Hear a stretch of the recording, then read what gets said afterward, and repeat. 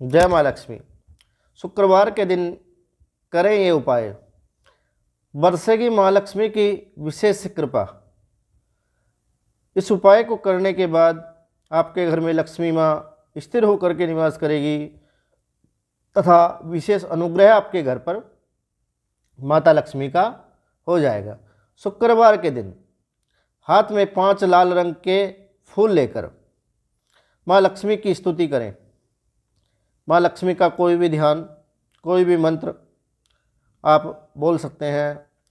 अगर आपको किसी ध्यान या मंत्र आपको नहीं आता तो आप नॉर्मल शब्दों में भी, हिंदी में माँ लक्ष्मी से स्तुति करें, हाथ जोड़कर भगवती से विनय करें कि हे माँ राज राजेश्वरी माता लक्ष्मी,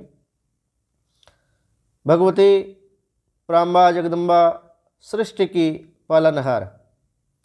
माता, आपकी कृपा आपके अनुग्रह के बिना जीवन यापन कठिन है।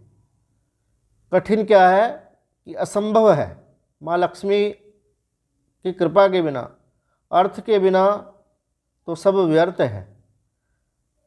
आर्थिक स्थिति जिसकी मज़बूत होती है, वो व्यक्ति सुखी और संपन्न माना जाता है। तो भगवती से हाथ जोड़ करके विनय करना है कि, भगवती, मैं आपको प्रणाम करता हूँ।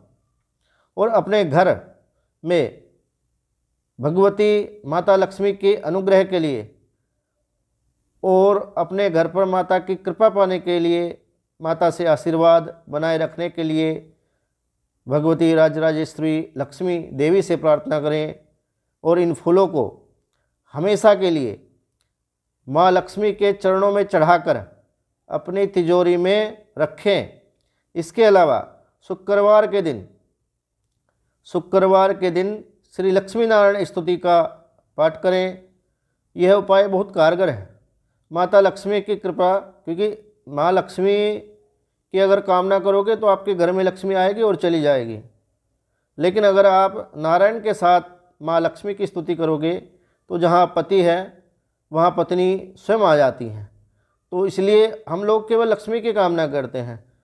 हमें कामना करनी है उस स्त्री की। श्री है जो लक्ष्मी नारायण के साथ में है। भगवान विष्णु के साथ में जो स्थिर होकर के विराजमान होंगी तो लक्ष्मी नारायण स्तोत्र का पाठ करें, उनकी स्तुति करें।